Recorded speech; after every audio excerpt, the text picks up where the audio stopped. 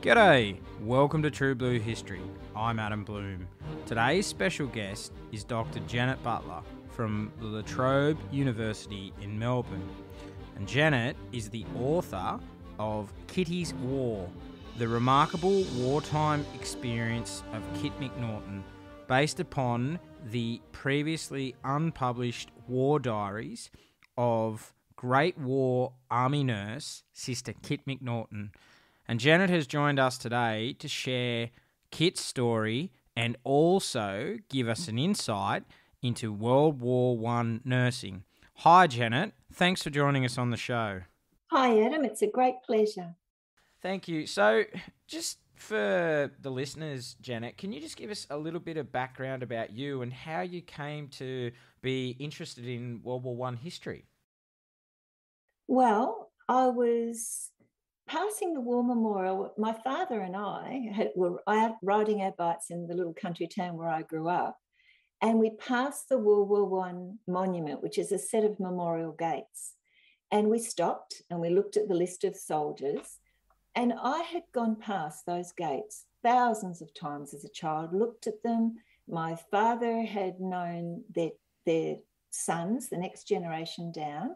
I'd gone to school with the grandchildren, and I had never noticed that there were two World War Army nurses out of order under the names of the soldiers.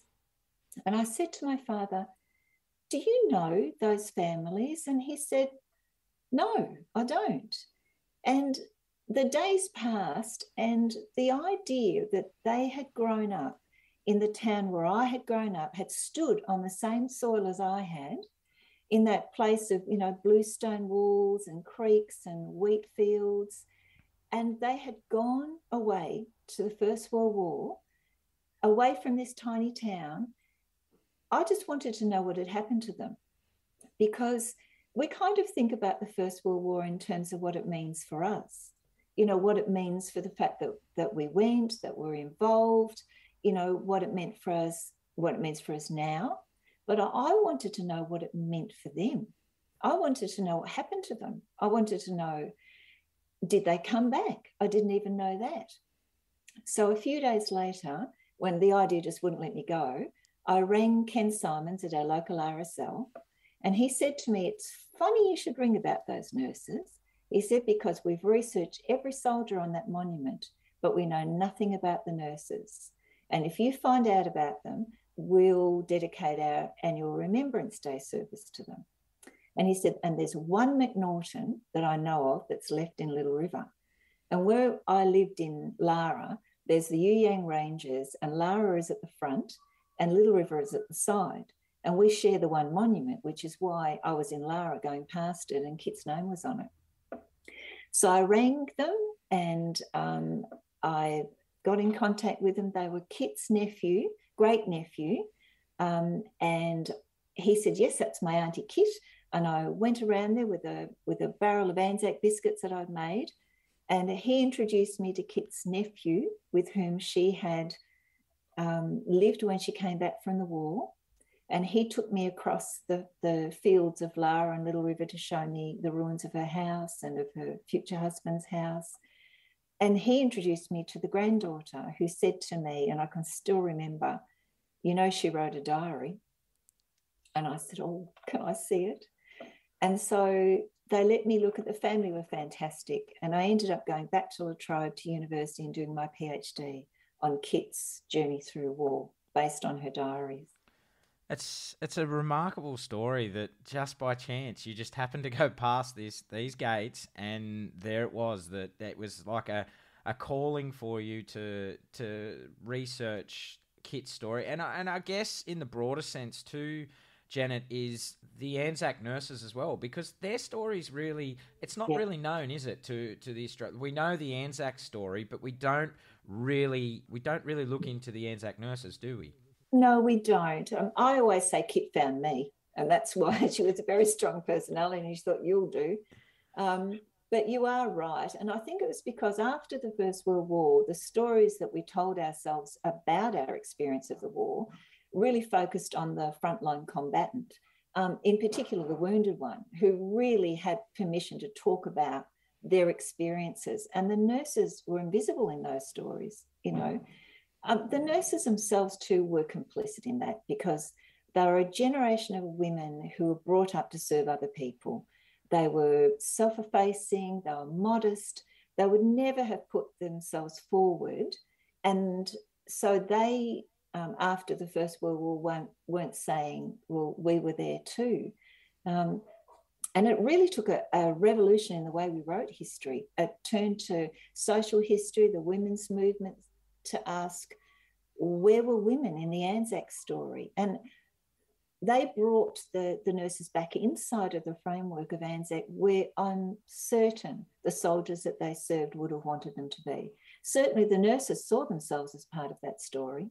Well, I was going to ask you with the with the nurses, they they didn't face any less dangers, did they? They were in, they were sometimes only seven kilometres from the front lines in casualty clearing stations, and they they faced the the same dangers that the men faced at the front, didn't they? Look, they did face danger. Um, nurses died. We lost about at least twenty five, and it's a sign of how things have gone that we don't actually know how many nurses died as a result of their war service. We're still we're still looking for them and recording them. They they went down with ships, and as you say, they were very close to the front in casualty clearing stations where you know the shells were landing on the clearing stations. Um, they were in clearing stations or attacked. Some Australian nurses were awarded the military medal for their behaviour during these attacks. But uh, I do think they weren't, after all is said, in the trenches. They were on the second battlefield. They and it was um, an enormous strain, and they faced things that they never would have believed that they would have faced, but they weren't in the trenches. And I think there's there's a difference there that we you know we do need to be aware of. They they knew what the men were going through, and they had their own huge um, challenges as well on the second battlefield. But I guess they were it was a difference of degree um, and of kind. They weren't in the trenches, trenches, they weren't going over the top. Do we know, Janet, exactly how many nurses enlisted for World War One? Do we have those records on hand? We don't. We don't. We have some, um, and uh, nurse historians such as Kirsty Harris are compiling databases. It's currently somewhere in the region of, say, between 2,700 and 3,000 went overseas with the Australian Army Nursing Service. But there were an additional, probably at least three or 400 nurses who enlist, enlisted with the Queen Alexandra's Imperial Nursing Service. They didn't want to wait, so they went overseas and enlisted in Britain. And there were other nurses, you know, who did a variety of other things. Um, so, no, we don't have numbers. It's probably, I'd be guessing, but it'd be in the region of about 4,000. And, well, one thing that I've read as I wanted to get you on to talk about a Kit's story, but also the World War One nurses as, in the broader sense, is that when a nurse because they they faced some pretty strict restrictions didn't they? If they got married or they they would then have to resign from the army was it their nursing service wasn't it? Yes. Yes they did. Um, they had they had to be single um, or they could be widowed if they married they, they were sent home um, some hid their marriages because they didn't want to you know move away from their service but I guess this is an ongoing thing. I mean, nurses had to resign when they were married in my living memory. Um, so did um, staff on aeroplanes. So it was part of the the role of women, the way that women were restricted, that, that kept going well into the 60s and 70s. So how many diaries did Kit write during her service, and are they still in the care of her family, or have they been donated to the Australian War Memorial? No, that she wrote three diaries, three little books, um, and they're still in the care of the family.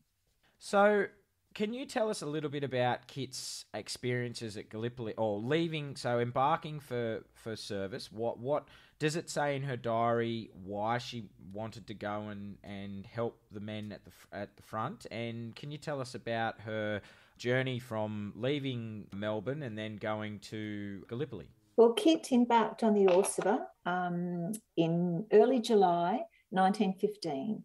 There was a massive um, recruitment drive in July 1915. A lot of men enlisted then, and she was leaving at the tail end of that.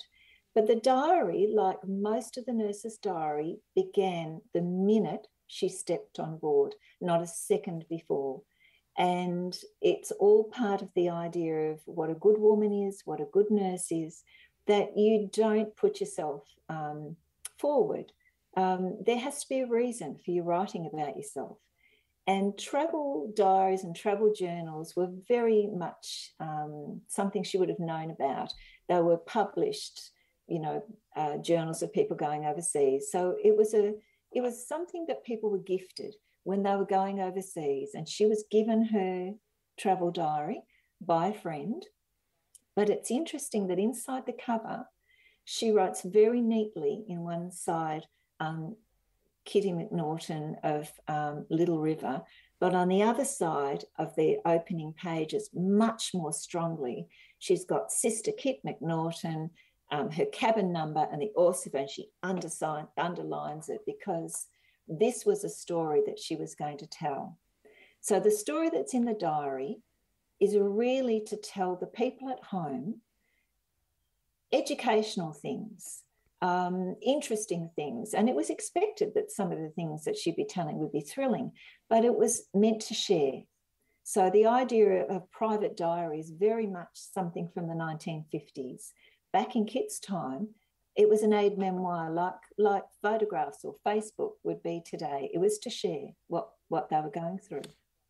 She seems like a very from and uh, from reading your book and and what I've seen on Kit is she seems a very strong and proud woman. Is that is that a fair assessment of, of her character? She was very strong. She was stern. She was um, adventurous. She was forthright. But I think they were, judging from the research I did, they're fairly common characteristics of the nurses. They were like that as a breed. They were very strong women. Um, she grew up in Little River on a farm. Her family was not as prosperous as, as other members of, of the wider family. And so all of her, she and her siblings went out to work. And she, um, she became a nurse, um, had her first shift at 6.30 in the morning, um, a pro- three months probation. And you had to be pretty tough to go through that. That the training was physical. People were rejected if they didn't think they could they could stand the physical nature of the training. They were long hours, um, though it's low pay. Um, conditions weren't great. Their wages had stood still for 20 years. So we think that they had a, they had a tough time at war, but we forget that they were working under fairly tough conditions at home. And when she got on that ship, with 200 other nurses, they were the ones that were trained to discipline, not the 2,000 soldiers around them. The nurses knew how to, you know, take orders and because they've been trained for it. So, how was her time on Lemnos and was it a was it a shock to her when she because obviously like she'd done her nursing training here in Australia, but then obviously wartime like wartime injuries are very different to normal nursing. Oh, and what was what do we get from her diary entries of, of lemnos? Well kitty went to lemnos from egypt. So she went by ship to um, suez. She was taken up to cairo where she was part of the staff of the second australian general hospital where she nursed in cairo the huge rush of casualties from the August offensive on Gallipoli, where she was seeing illness and gunshot wounds, and the Gallipoli veterans themselves, who were, you know, um, very highly regarded in Australia. So she was meeting them. All this was going into her diary. But then she volunteered to go to Lemnos because the nurses, they were very restricted at home. They lived in nurses' homes, they were the more restricted sex. Um, travel and war were really men's domains at the time. So they, they had to negotiate their way, argue their way into war. But where they wanted to be was as close as possible to their men. Um, that's not where the army um, hierarchy wanted them to be. And you could tell that from the baggage that they were allowed to bring. They were meant to stay in the bases, which were in Cairo, hundreds of miles from the front. But the nurses wanted to be where they could best serve their boys, where they could also experience real life to the full and, you know, even adventure, even danger. So she volunteered, she went to Lemnos. But I think the situation that they went into, they were not prepared for. They were then attached to a stationary hospital, an Australian stationary hospital, which, despite its name, was meant to be very mobile, to be able to move at a minute's notice and, and get close to the front.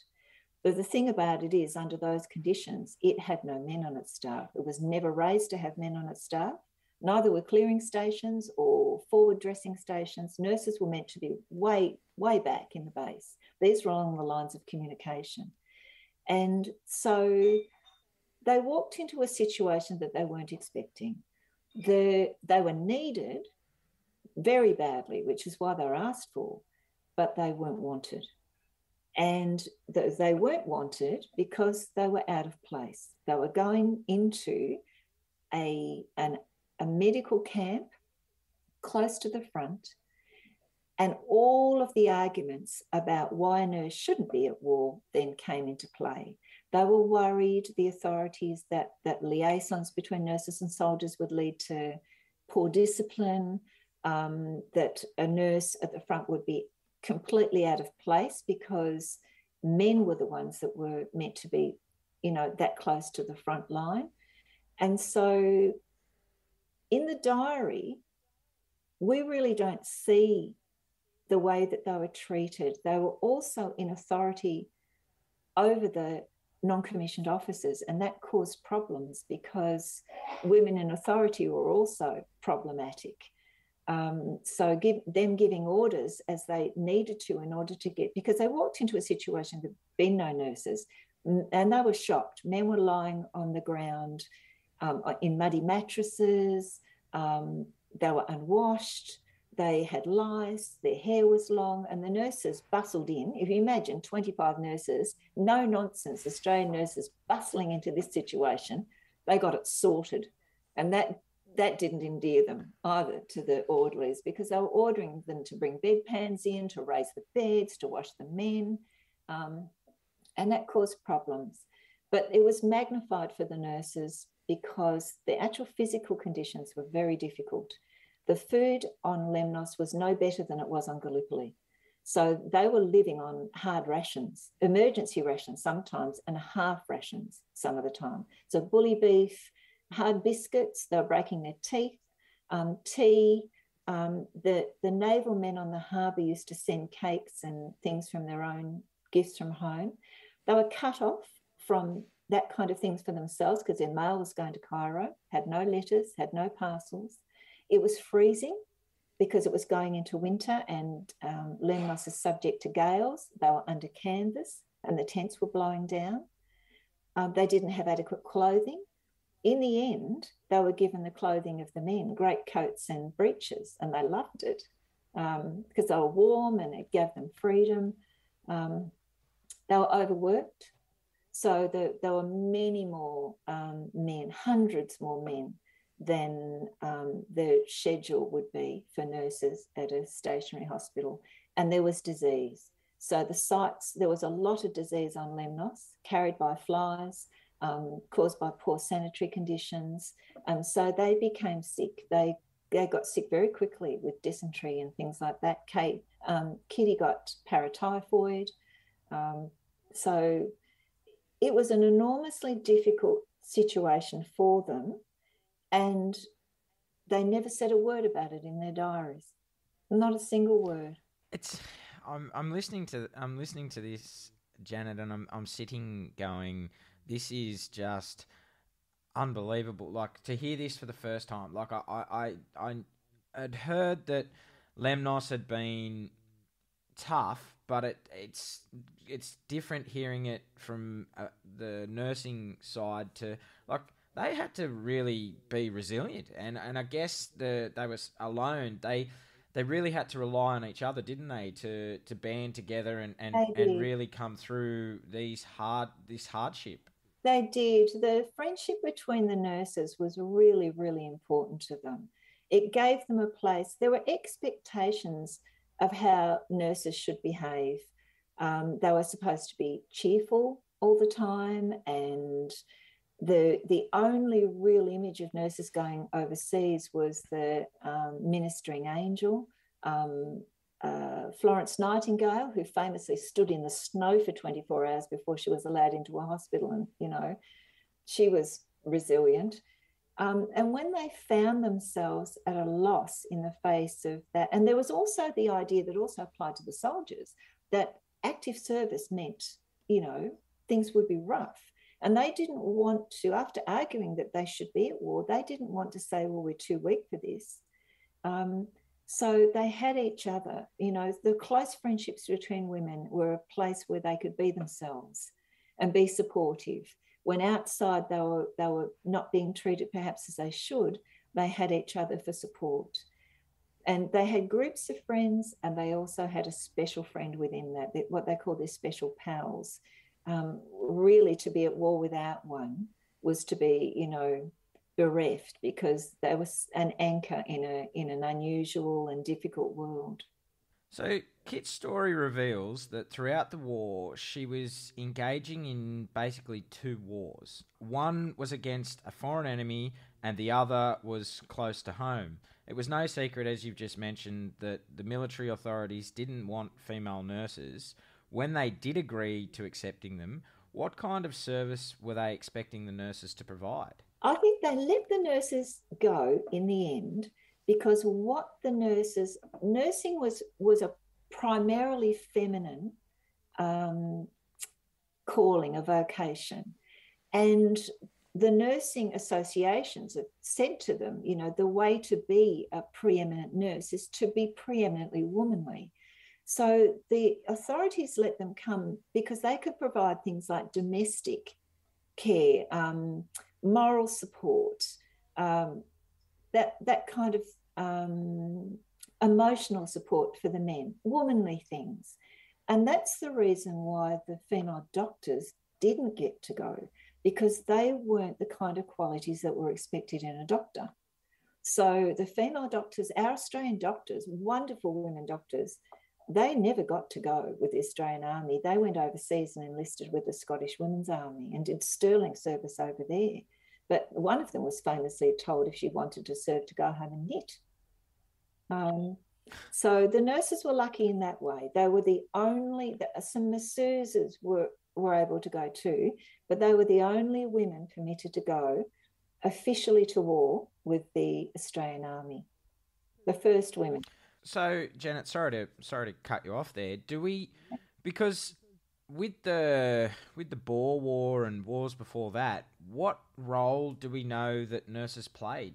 They did go, but they went from the states. Okay. They were kind of privately funded, well, because we were colonies then. Um, so they went from the individual colonies. There wasn't an Australian army. Um, there were just state-based forces. Even the riflemen that went were, you know, the New South Wales Bushmen. So this was after the Boer War. They started agitating for, you know, an organisation which would have nursing reserves trained for war. And when the First World War came, they said, okay, you know, we should be able to go. And they did allow them to come. They staffed the general hospitals, which were going to be at the bases, with nurses from Australia. So, do you feel, Janet, that the nurses for them was it a sense of duty to, to start of, of coming of age of their own their own independence that nurses enlisted to go and help the men at the front or is it something else I think it was the same as the men. It's a, everybody went for different reasons, but there's a, a usually a combination of reasons. So they went for duty because you know it was it's the same way the men enlisted in order to serve. They wanted to serve their boys and to serve the empire. So there was a service aspect to it. there was also a freedom aspect to it because the nurses really were very restricted at home. Even private nurses, there was a, in those days, nurses worked in the hospitals, but they also worked in as private nurses, but they lived in nursing homes. Big um, nursing homes in Melbourne, there are about seven huge ones whose doctors would ring them, the matrons would send um, a nurse to a private home where they would nurse people who were ill because the hospitals then were all public. They were meant really for the poor. And in these nursing homes, they were heavily restricted in what they could do. And so to go to war, they were going away from all those restrictions. It was a flight from restrictions and into adventure. Like the soldiers, most of them would never have had the chance to go overseas because their pay would not have allowed them to they would never have been able to afford to experience what she did going overseas like that. Um, and also, I did speak to her great her nephew who said that he felt that Kit probably went into nursing to escape cooking for the shearers partly you know there was there weren't that many options for women and this offered them a chance to be part of something in the way that women really weren't allowed to be. There was this huge thing going on, and as nurses, they could be part of it as well. So we we know that the so Gallipoli, the evacuation happens. How long did Kit stay at Lemnos for, and did she end up going back to Cairo? And then she she obviously went on to the Western Front. How long was she in transition for? Um, a few months. So they came off, they waited for the men to come off Gallipoli. They were expecting it to be a disaster. So they evacuated all the patients that they could, expecting there'd be an influx of very badly wounded men, and there weren't. So in January, they had New Year's Eve in Lemnos, and then they went back to Cairo and they were kept there because the men were then reorganized. The the mounted men were separated from the infantry, the infantry was expanded, and the infantry ended up being sent to the Western Front, and some of the hospitals went with them. So the first AGH and the second went off to um, the Western Front with the men. And what was Kit's experience like in the diary? Do we see that she sees a totally different war from what Gallipoli was to the Western Front? Do we see that in her diary? Yes, She does. She has a brief interlude in Cairo while all this is going on, and it's mainly social. And you see the nurses. Really, I think about it as the last light before the dark. You know, they they enjoyed each other's company, the friends they'd met on Lemnos. It was very social in ways, you know, possibly they wouldn't have had at home. And then they went to the Western Front.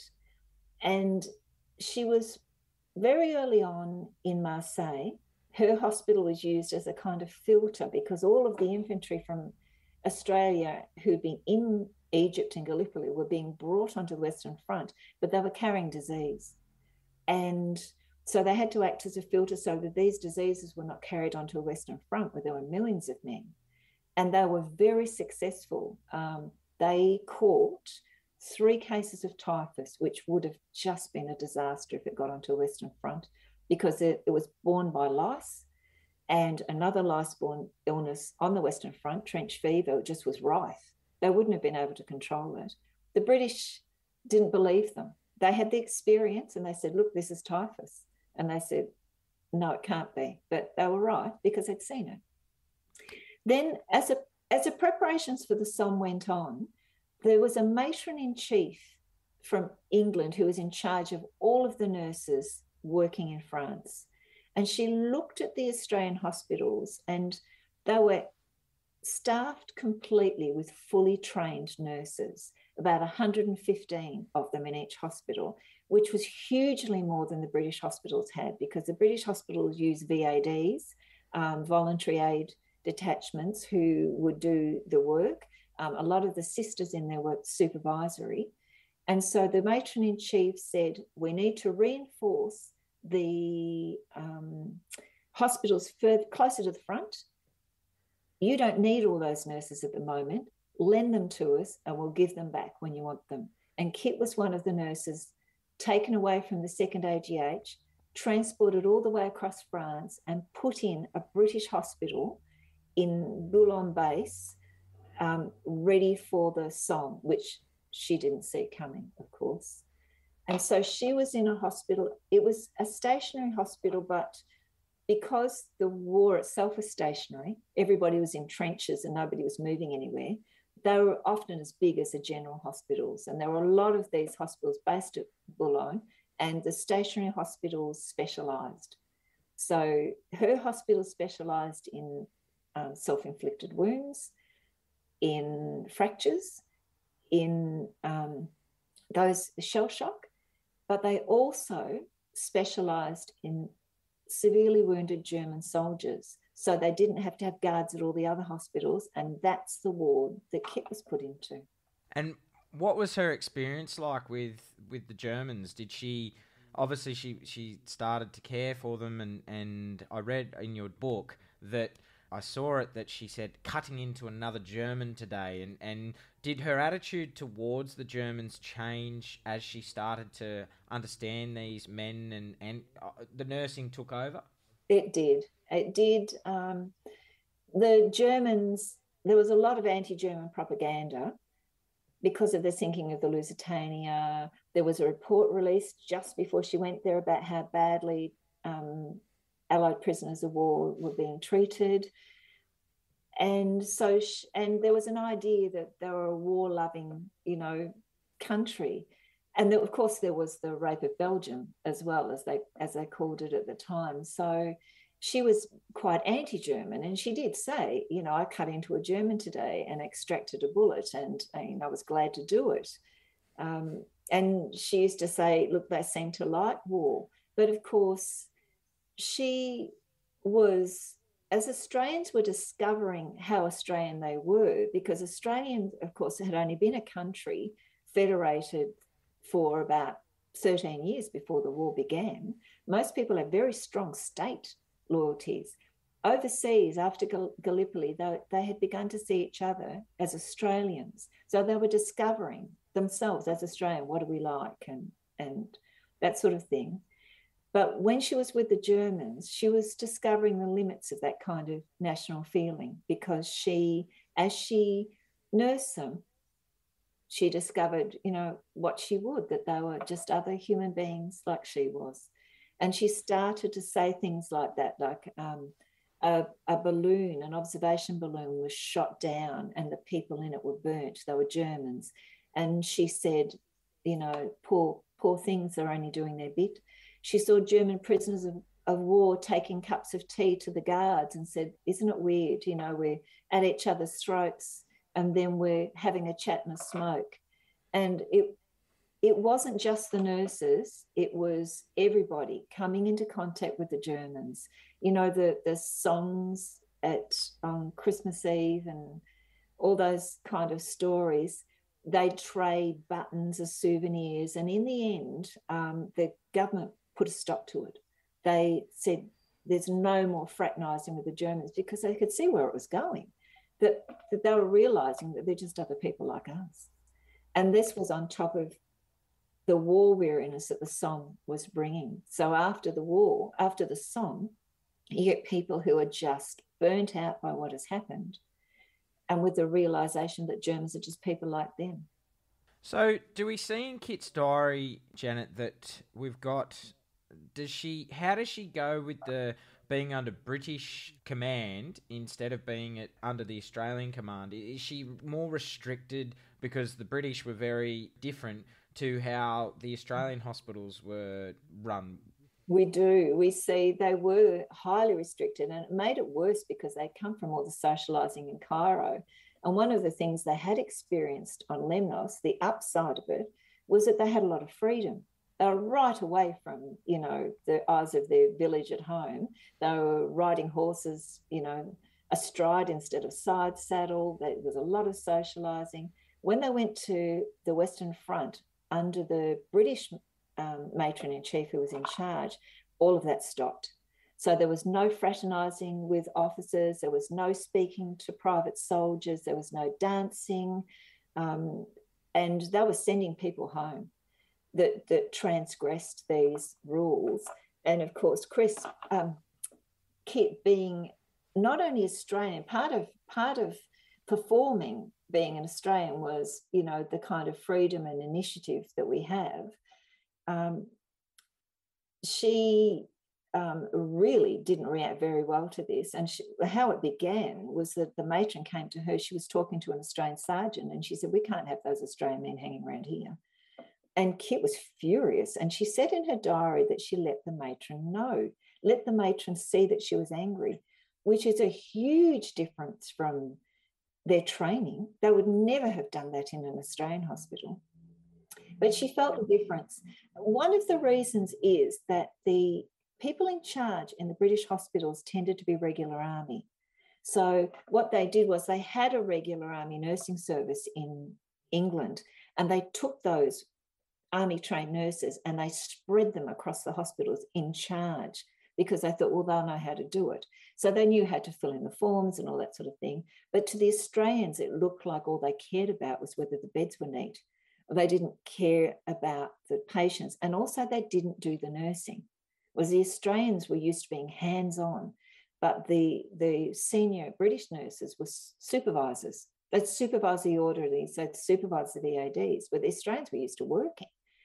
So she tended to gravitate towards the Scottish nurses who were more like her, and she she read those differences as as um, national that they were national differences between the British and the and the Australians, but they did tend to see them as colonial because they saw the Canadians treated the same way, and the um, they also knew that they weren't getting the best sites, the the heaviest casualties because the British simply didn't value them. I think it was a shock to them because our nurses were very highly trained. So yes, there was there was some um, friction there.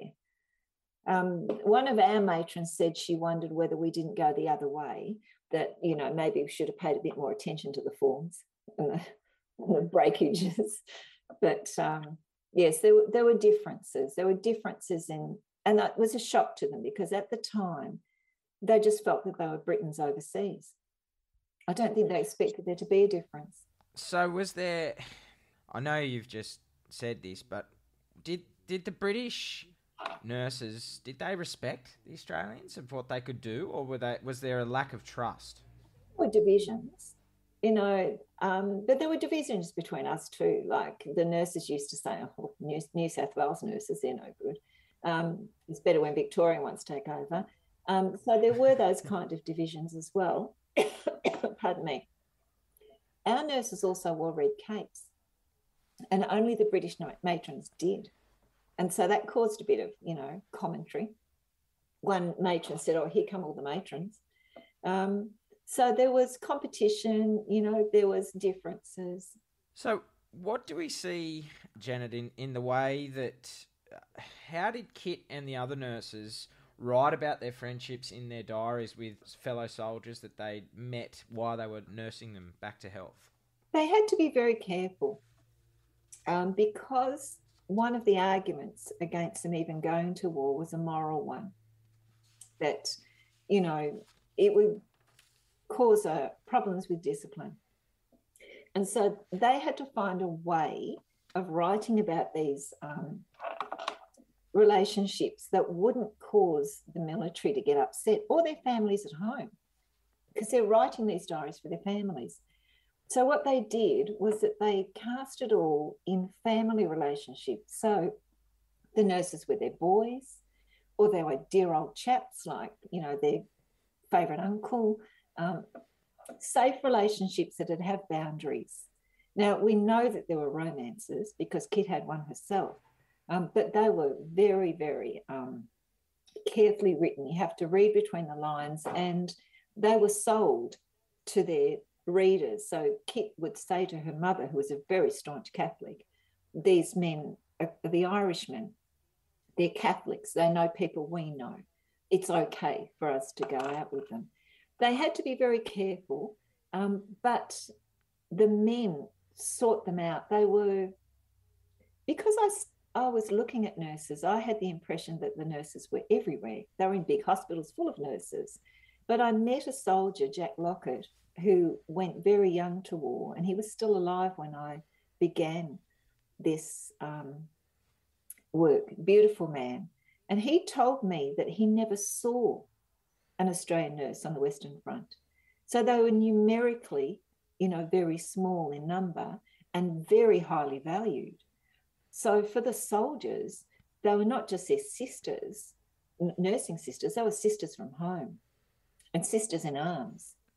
And the soldiers sought them out because they'd been going through terrible things on Gallipoli and again on the Western Front, but they couldn't tell anybody. They couldn't tell their family back home um, because they were protecting them. They couldn't complain to fellow soldiers because you know there was an idea of you know warlike masculinity. Um, and so it was only the nurses that could actually really confide in eh, to get emotional support from. And so they sought them out because the, the, the nurses' friendships were like that between each other. They talked, was men's friendships with each other were more side by side and based on occupation that they were doing at the time. So they, the nurses gave the soldiers a great deal in terms of emotional support. And Kit often says that they confided in them all the terrible things that had happened. But constrained by the same restrictions, Kit never told us what they were we never get to know either. She never said, but she heard from them and she supported them.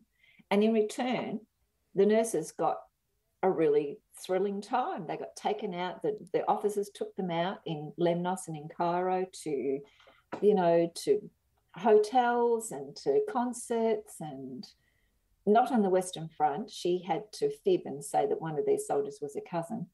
They weren't allowed to ride around in cars with officers. Um, that they did their best.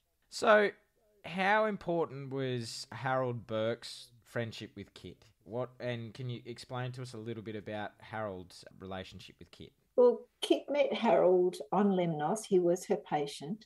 He was in the 5th Battalion and they'd come off, they'd been at Quinn's Post, they'd been at Lone Pine um, in just terrible conditions. And she gradually um, they became close in terms of a sisterly relationship, but they kept as friends throughout the war. And the friendships that she made on Lemnos, those friendships were supportive to her all the way through the war, but they were all the same kind of men. They were all Australians or New Zealanders.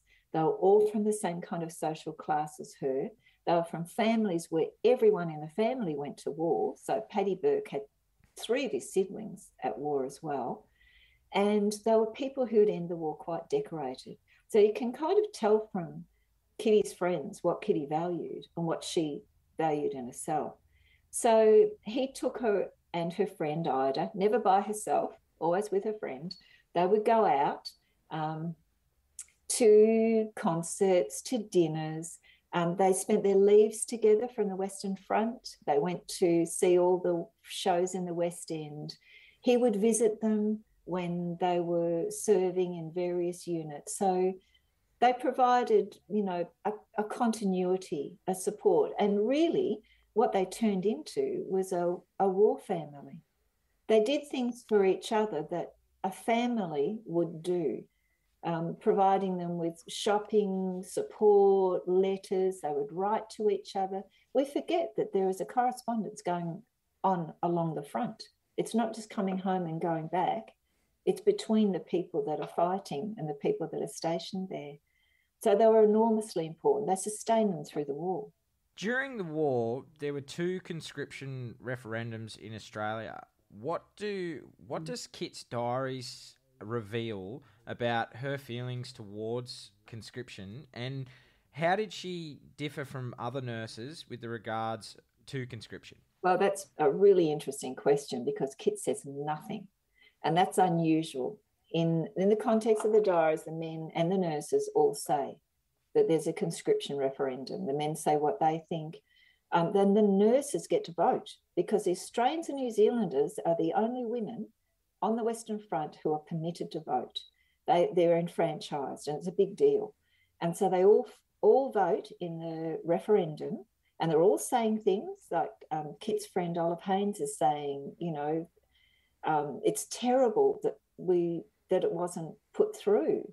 Um, here we are watching the, you know, the, there's people at home that won't go, and we're seeing the good people being sent to the front dying. But Kit's absolutely silent. And the reason she's silent is that in her person, she embodies the three sets of people that the government is going to say defeated the referendum women, the rural people, and Catholics. And it's, a, it's an unfair um, aspersion to cast, but she she knows that her hometown, because of the letters that are coming back and front forwards, she knows that Little River is going to vote against that referendum. Her family is, and she knows that the community is, and they do. Um, it's out out of um, sync with the rest of Victoria, but Little River does vote against it quite significantly, and there are reasons for that. There, um, it's a rural um, environment. And she's a farmer, all her family's a farmer. And just before the first referendum, the government's so sure it's going to go through that they call all the eligible men into camp. And it's just before harvest and just before shearing. So they get a really good look at what it's going to be like if these men get constricted. And at this stage, I've had a look at the people who went from Little River, and everybody who is ever going to go has already gone. The only ones that are still to go are those waiting to come of age. Um, everybody else has already gone. So every person that can be spared has left, and the people who are left behind are there for a reason. Um, they they're the only child of you know parents. We see them going before the exemption committee saying, "I can't go." You know, I'm the only person left here. Um, so there's there are a variety of reasons why people aren't going to go. The Catholics, of course, have got a different view of the situation than than the rest of us because um, of the Protestants because they've come from other countries and you know have got a different view of what stake we should have in all of this. Um, so Kit knows, and she doesn't. So she's very conflicted about this because she is seeing the soldiers going to the front and dying as well. And she has close friends amongst them and she supports what they're doing. So she's very, very conflicted about it. And so she says nothing. And her silence is enormous. It's loud. Which, for as you've said as well, for Kit that was very unusual, wasn't it? Because she she was an, she was very much writing a lot yes. during the war, and there's only certain periods of the war where she's quiet and and because she came and correct me if I'm wrong. Did she come from a family of twelve? Is that correct? Like she had a fam. Was it? No, she's no. She came. Uh, she had a, a big wider family, um, but she. Um, I think there were. Looking back, I'd have to check, but they're probably sort of seven or eight. Some were lost in infancy. Um, she has brothers. She has, at the moment, when she goes to war, there is Kit and her three brothers Duncan, Sam, and Dugald. They're a Scottish family. Why Kit was overseas? Did her mum pass away while she, she was? Yeah, she did die. How did that affect Kit? Oh, hugely. She stopped writing a diary for a while because I don't think she could bring herself to. Because by this stage, uh, when they first went, soldiers and nurses imagine like a triumphal homecoming. But home, after what they went through, turned into the idea of a sanctuary. You know, the, the idea that it was there, that even in the midst of this darkness and these terrible things, that they would be able to go home. And Kit's father was already dead. And so when Kit's mother died, that was one of her sources of news, a big audience for her diary. And also, she would have no home because the home would would just disappear. They were actually leasing the property where they were. And so that would just, there would be no place for her to go home to. And that's one of the things she says no home anymore. I'm lost now. And it's, I suppose, Janet, we all look at that and go, we, home is such it's so important to all of us to have that place to even when you go overseas, you travel, you come back, to have that your home. It's your kingdom. It, it's your inner sanctum of your mm. place that you treasure close to your heart. And I can feel that I understand why Kit would be, you know, because it had been well. She said goodbye to her mum in 1915, and then that was it. That was that. That was the last time she'd ever spoken to her, and and it's through. We know through letters and you know through what we do now with Zoom and and telephones, but it would be tough. It would be very tough. Mm. Yeah. Yes. Yes, she was. She stopped writing for quite a long time, and only started again when she went on leave. And that was the impetus of the idea of, of the diary as a travel diary, because they were going to London, the centre of the empire and here were things that she should write about for the people home that she should remember too. So there's this six page, you know, description of a visit to Windsor, you know. So she starts writing again and she's seeing her friends again in London. She sees Harold again. They stay in the same hotels or a lot of people that came out on the ship with her. So she does start writing again. Kit was the first Australian plastic surgeon nurse. Can you tell us about what was involved in what she had to go through to become the first plastic surgeon nurse? Well, Kit was a, a theatre nurse, so she worked. She was in charge of the theatres at a clearing station um, during Passchendaele, and I think we've lost, you know, we, we kind of don't realize how specialized being a theatre nurse was because when she finally went on leave again after that stint in the in early 1918 she was sent to Dartford. They were kept in England if they were looking worn out, and she she well and truly was by then because she'd been through the Somme, she'd been through Passchendaele, and she'd been ill. And so they kept her and her friends in England and sent her to a hospital, Dartford, where a nurse was put on on uh, theatre duty and refused to go. She said she hadn't been trained; it'd be bad for her nerves. So somebody like Kit that had run the you know a string of operating theatres at a clearing station during Passchendaele was a gift. And so, at the end of a stint at, at Dartford, what they had done was that the people who developed plastic surgery during the First World War, and there was a terrible need for it because the helmets covered the head, but if you put your face over the edge of a trench, then your face was unprotected, and there were terrible facial wounds, terrible wounds to their face, their jaw. So a hospital at Sidcup in Kent was set up, and um, the two men who developed plastic surgery had an English unit there, and it was so successful that they decided that they would open up separate units within the hospital for Australians and Canadians. And the Americans came over and had a look at what they were doing. Gillies and Fry were the people who developed it. And so an Australian unit was set up with um, Sir Henry Newland in charge. And Kit was transferred there as the um, to work in the operating theatres as a plastic surgery nurse. She was the first one. I think they ended up with sort of six or seven. Her friend was brought over as well. And but she she didn't write about it.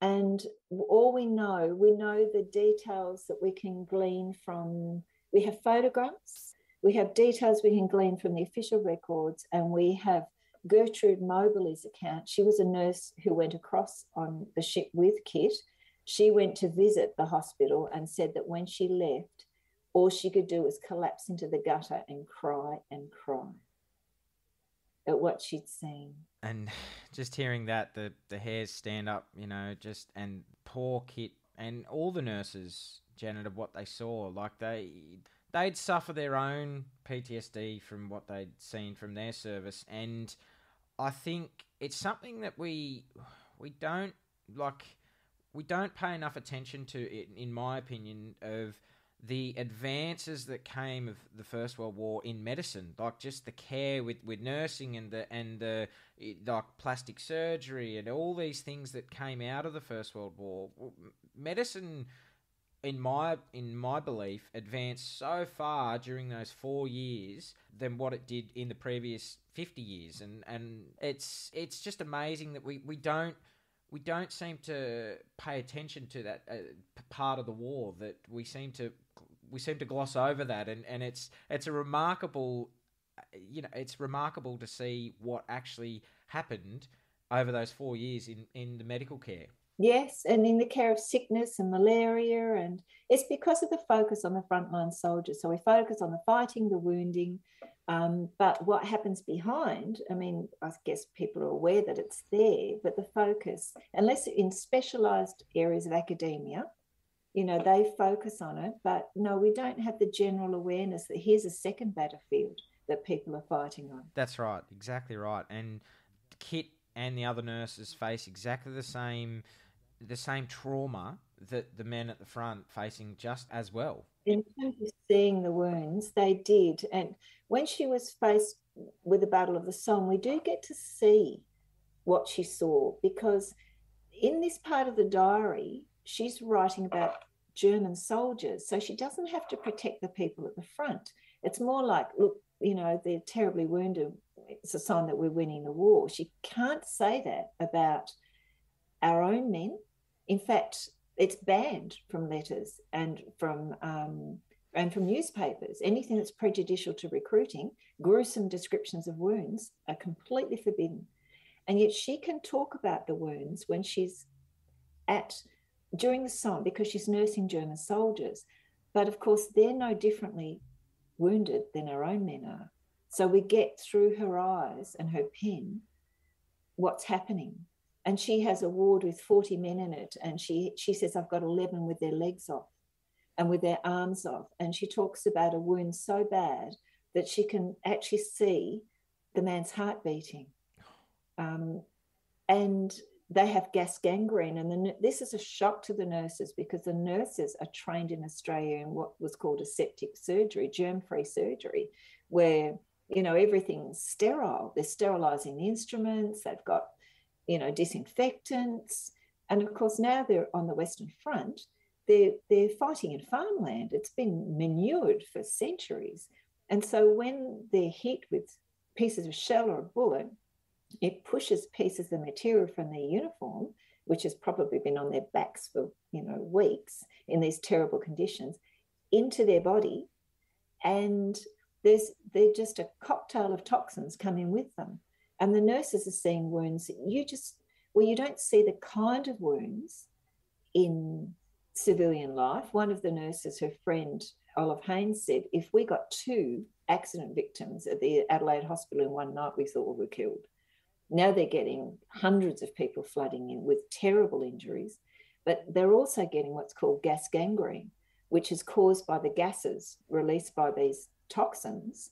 And if they don't amputate the leg once they realise that the gas gangrene is happening, it causes the, the limbs to swell.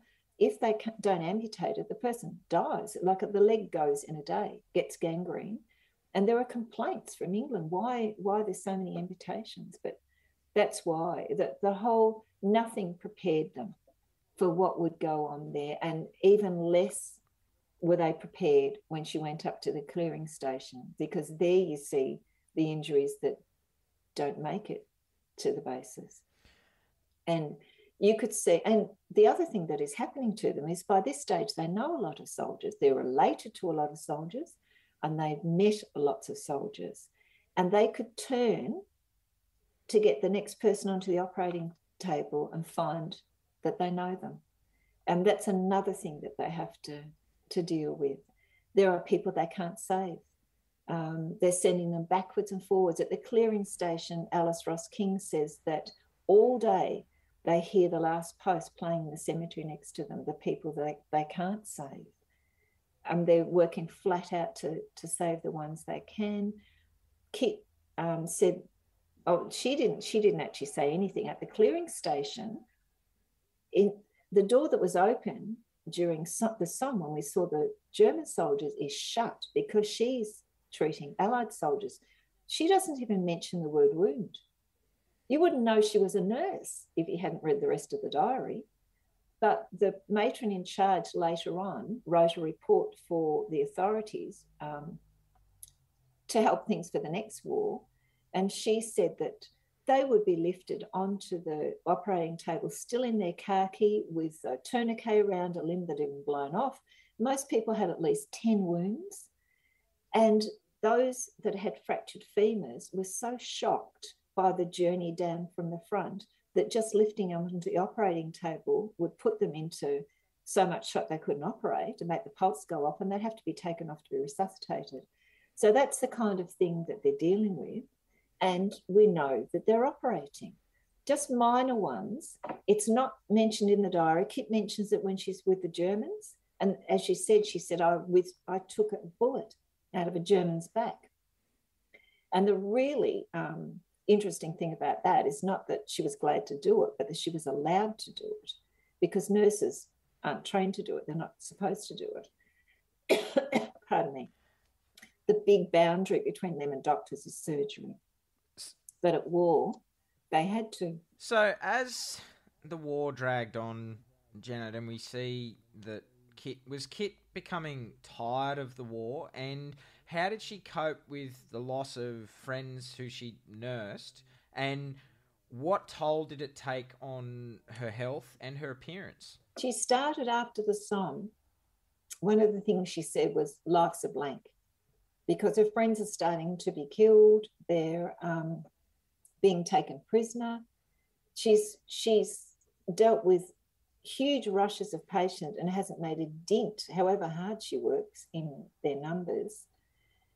And you start to see things happen to her, like Ted Connor from Little River, who she goes to church with at home comes to visit her. And a month later, he's dead. And five days after that, his brother's dead. And her sister in law has to go and tell their mother, who Kit would have known, one day after the other, two consecutive days that she lost two of her sons.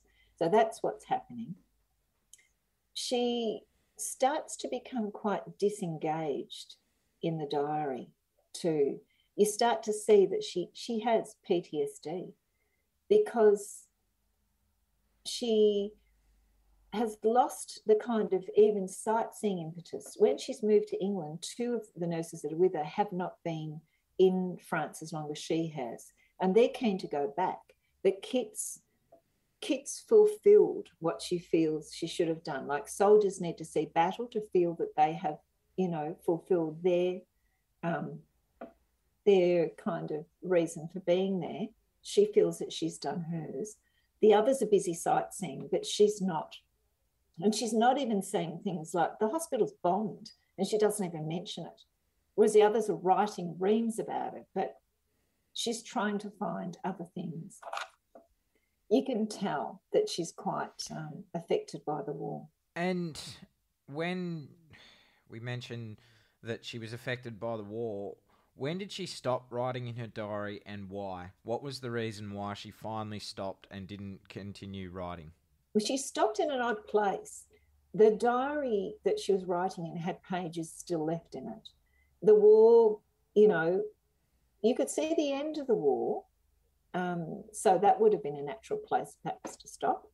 Um, she was being moved to a new unit. She was going to Sidcup to be the plastic surgery nurse, and she would usually say describe the place, describe the wards, describe what she was doing, and then work wouldn't be part of the rest of it. But that was a, an opportunity to say, here I am, this is what it's like. But she just stopped. And one thing that did happen is that Harold Burke was killed.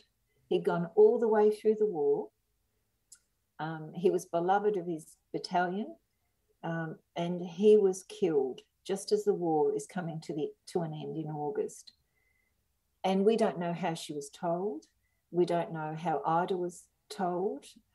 Um, we know that when his mother was told, she reacted so badly that the father wrote to the government and said, Please don't send any news about my other children home, send them to the office. But I think that she that was the last straw.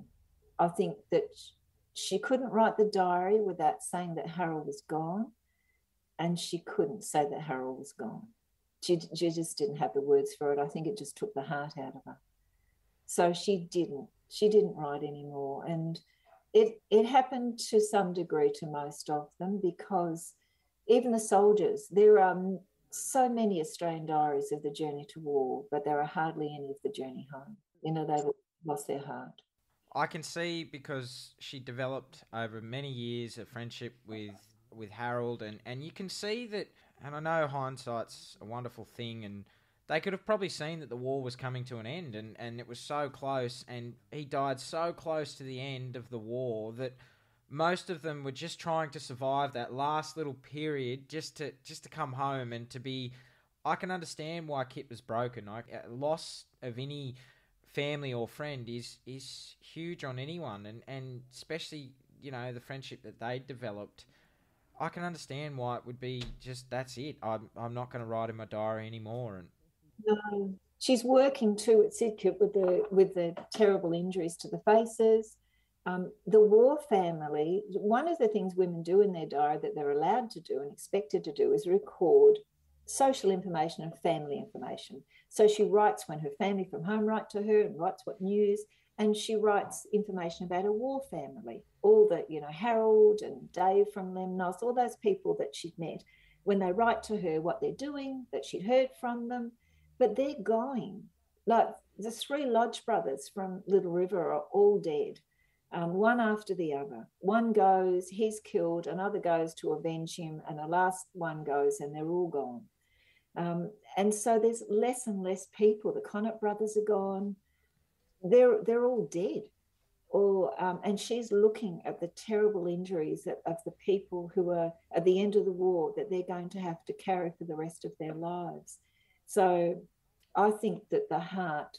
She was also burnt out. I think she'd started to be burnt out after the Somme, and the and Passchendaele just put paid to it because she started to write at Passchendaele very surreal paragraphs that showed how how far away home was now and how how surreal her life had become.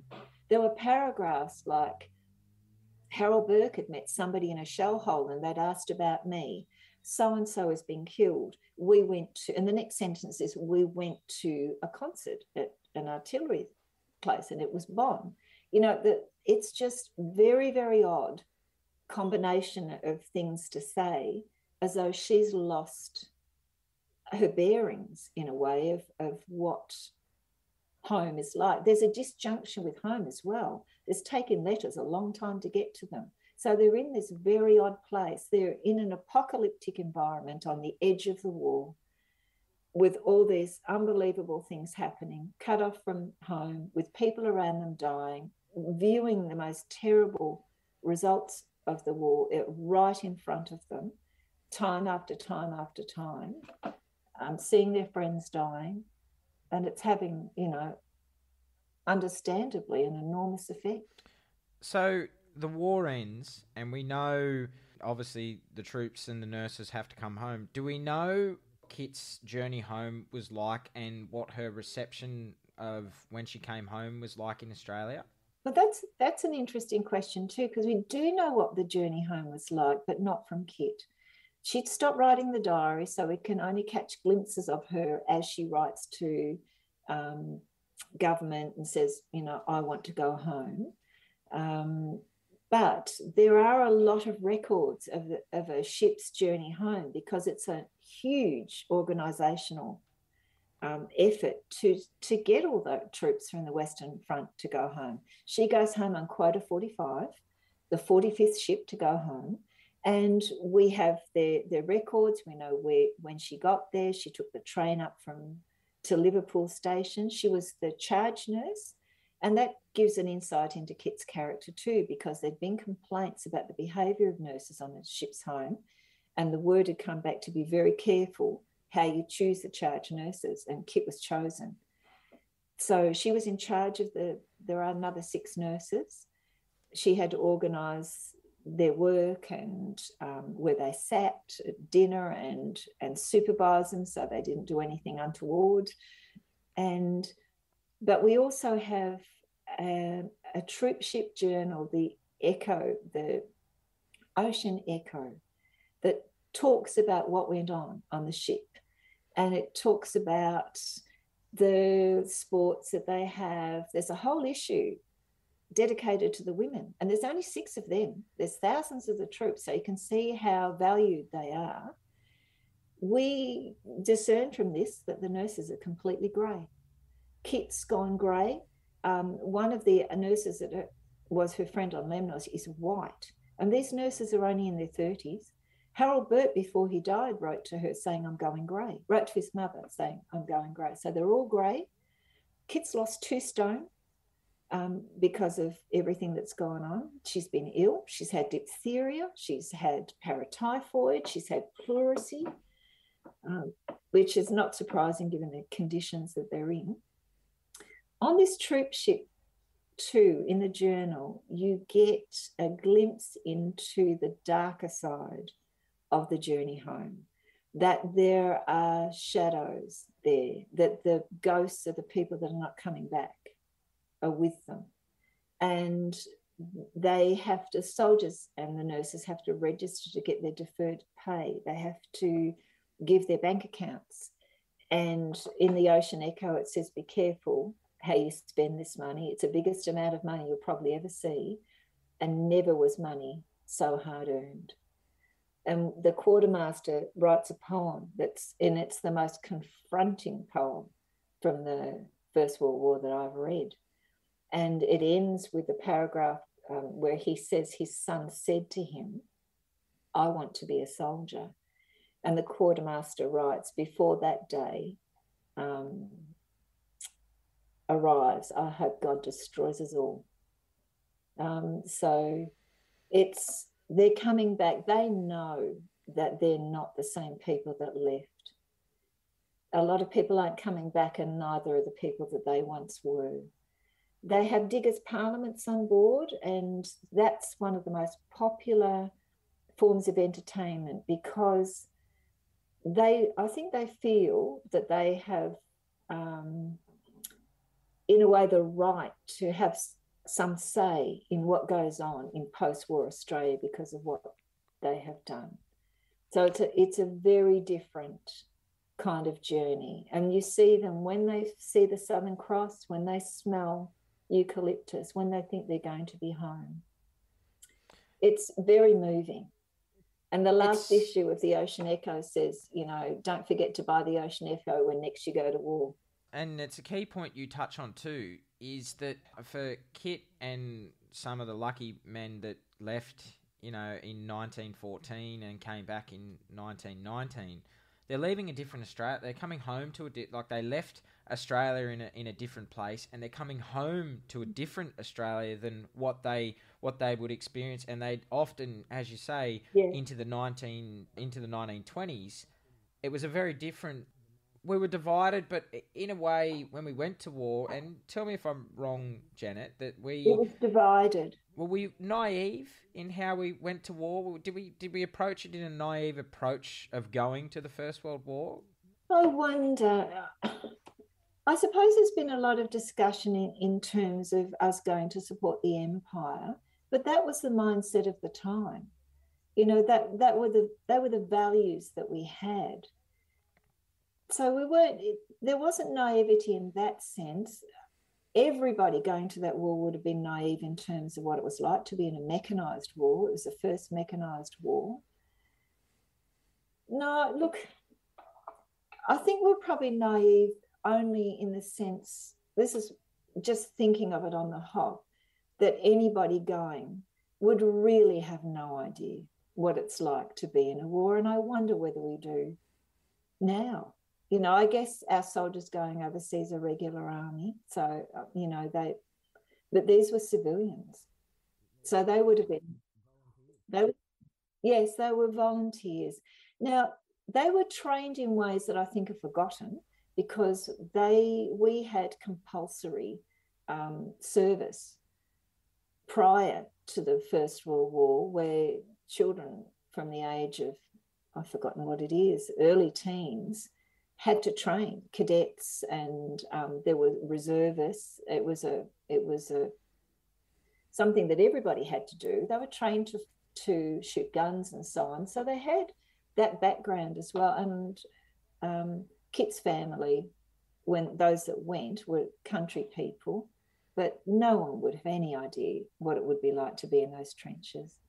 They wouldn't have known what it would be like to be on Gallipoli. You know, they were they were farmers and bank clerks and yeah, very different to the modern army that we have today. So, what what awards did Kit get for her service? She um, was mentioned in dispatches for her work with the Germans, and she during the Somme, and she won the Royal Red Cross First Class, which is a, a huge thing. It's nurse war nursing's highest honour. And she got it in the Peace Dispatch. It was released on her way home, and she received it from the Prince of Wales at Government House. But she always said to her family that she got it for the time at the clearing station in charge of the um, operating theatres, and they, there was rumours of an attack, and the nurses were told to fall back, and she wouldn't go. She stayed. Um, so, and she said that everybody had the wind up, um, but that's what she said she got it for. But it was a very high honour. Absolutely, and for you, Janet, what part of Kit's story is most satisfying for you? That's a that's a very hard one. I think when I was trying to get Kitty's War published as a book, one of the publishers told me that the hardest story to get published is a book about an unknown woman by an unknown woman. And I suppose that in a way is very satisfying that that this unknown woman's story is now told and it stands for a lot of the, the women. When I go back and I look at that war memorial in Lara where I found her name, behind every single name on that memorial is a similar story. Like Kit's story is not unique. I mean, she was unique in in her personality and you know the nuances of it, but every person on that monument had their own story, their own background, their own family they left behind, their own war story, and their own battles and challenges when they got home.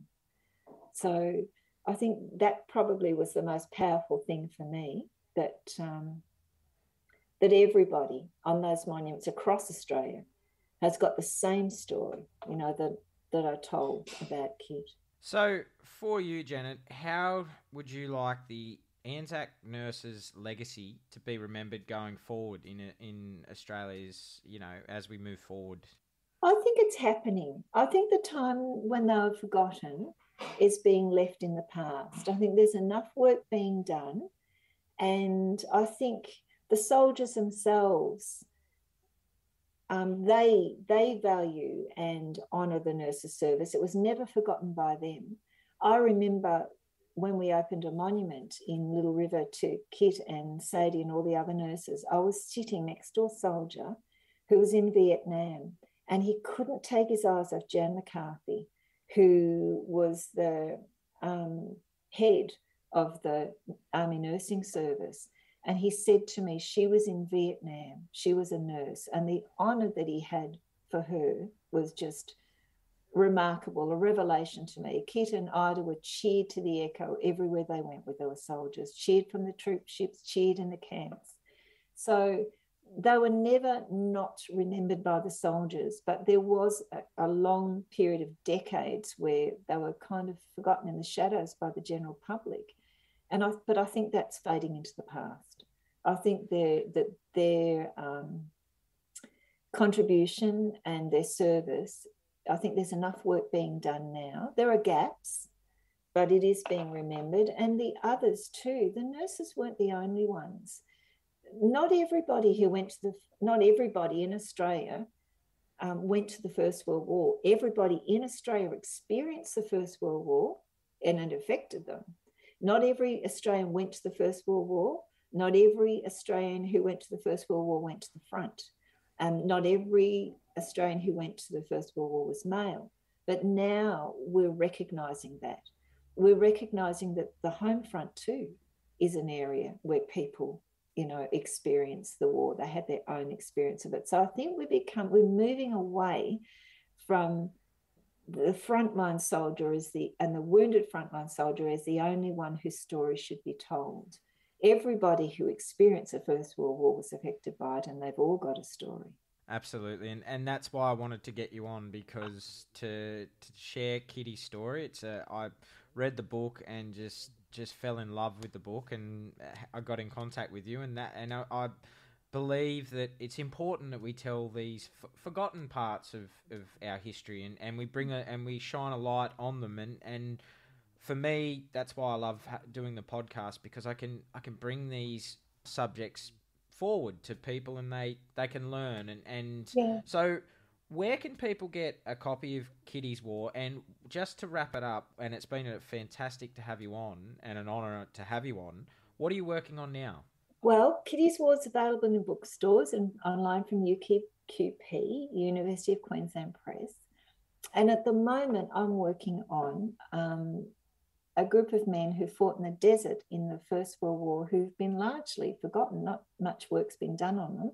Um, they were the Australians who fought after Gallipoli, who joined the Imperial Camel Corps. So they fought in um, the Sinai and the Palestine campaigns. And itself has been a neglected theatre of war until relatively recently. And so that's what I'm working on at the moment through their same thing, through their own records, their own words. That's and and is there potentially there's going to be a book in that as well? Or- There will be there will be more than one book. when it's out, please, I'll stay in contact with you and, and let me know, and, and I will get it. And would love to have you back on to talk about that because these are all fascinating chapters of Australia's military history that I believe we we need to shine light on, and, and the, the generations going forward need to know of what you know of uh, what's happened in our past because I believe. Jen and I've said this to you before. Without knowing our without knowing our past, we've got no future.